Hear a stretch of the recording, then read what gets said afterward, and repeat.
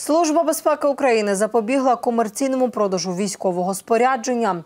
Всю вилучену амуніцію вартістю понад 8 мільйонів гривень передадуть українським захисникам.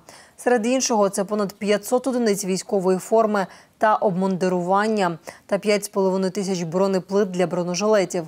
Спорядження було конфісковане СБУ в ході спецоперації в Черкаській області.